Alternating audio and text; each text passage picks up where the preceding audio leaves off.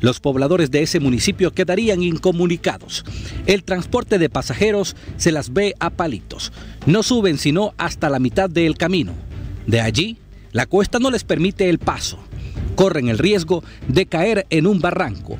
El transporte que saca el producto que allá se cosecha, las verduras y más, tampoco está entrando. Significa que gran parte de la producción se está perdiendo. Esta carretera, según las autoridades, no es responsabilidad de la corporación municipal, sino del gobierno central. En la administración de Juan Orlando Hernández se aprobaron casi 100 millones y se prometió construirse. Pero al igual que muchos proyectos en el gobierno nacionalista, nadie sabe dónde está ni para dónde agarró el dinero. Pues aquí preocupados totalmente, sabemos que están las lluvias, pero Lepaterique está incomunicado por partes de la carretera de Lepaterique a Tegucigalpa y le hago el llamado al gobierno de Xiomara Castro de que nos pueda ayudar, ya que está dentro del presupuesto general de la República a través de la Secretaría de Infraestructura y Transporte, SIT, hago un llamado a Mauricio Ramos de que nos pueda ayudar ya a la pronta reparación, ya que nosotros como alcalde no podemos invertir fondos, a veces lo hacemos justificadamente, pero realmente entra en el presupuesto general y esperamos la pronta este, reparación, ya que tenemos, ustedes miran aquí productos, tenemos los buses parados, tenemos más de 25 mil habitantes en un territorio de 542 kilómetros cuadrados, pero para arreglar una carretera así anda por lo menos Usted me habla de la pavimentada, una pavimentada, anda más de 300 millones de lempiras. Realmente nosotros necesitamos y urge lo que es la pavimentación, ya que en el periodo de Juan Orlando estaban destinados 80 millones, pero debido a la pandemia pues desconozco dónde se desviaron los fondos. Los transportistas claman a gritos que por favor les ayuden con la reparación de esta calle.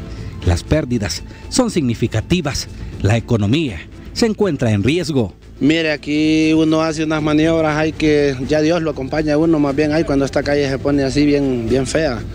Y ahorita pues este tramo de aquí estamos sufriendo bastante porque no, mire, esta unidad venía desde ayer en turno y no, no pudo subir. Y entonces aquí se ha quedado así varada, aquí a mitad de camino. Y la gente le toca caminar, buscar jalón o a veces lo que hacemos es que le ponemos una unidad de aquí hasta donde llegamos y de ahí otro carro termina de, de subir la gente hasta, donde, hasta el destino, pues a donde ellos van. Estamos hablando de bastante porque imagínense que tenemos que mover dos unidades, así como está el combustible de caro.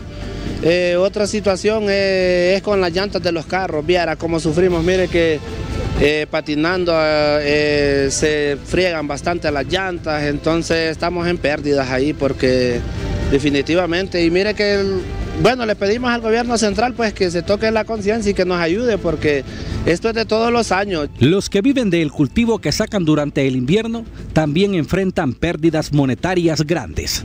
No hay por dónde, no existe otra calle, no se puede traer el pataste, el pepino, la zanahoria, el repollo, la remolacha, el brócoli, los frijoles y otros productos que allá se cultivan Claro, hay, productos que se pasa de corte, por ejemplo como el brócoli, que hay que sacarlo de la montaña, del, cerro, entonces eh, ahí está, está más lleno de lodo, ¿verdad? Entonces hay productos que se pasan de corte.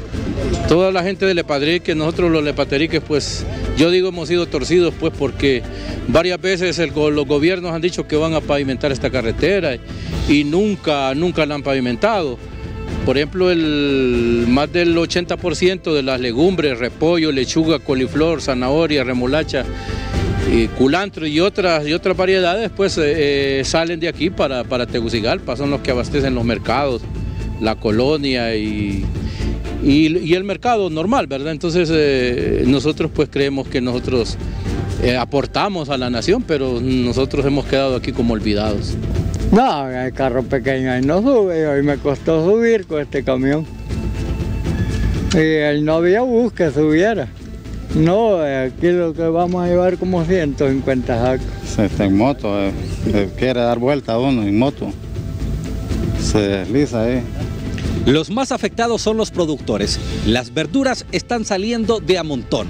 El problema es que si no tienen un camión o un vehículo 4x4, no pueden venir hasta aquí por ellas. Por ende, les toca venderlas a precio de gallo muerto, aquí arriba. en el Cerro de Lepaterique son más baratas. Los productores están dando el grito al cielo. Los transportistas ni siquiera pueden subir con los buses. La calle de Lepaterique se encuentra en pésimo estado.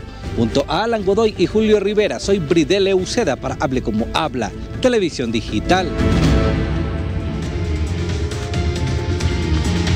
Gracias Bridel. Y Lepaterique y la montaña de Azacualpa son las principales zonas de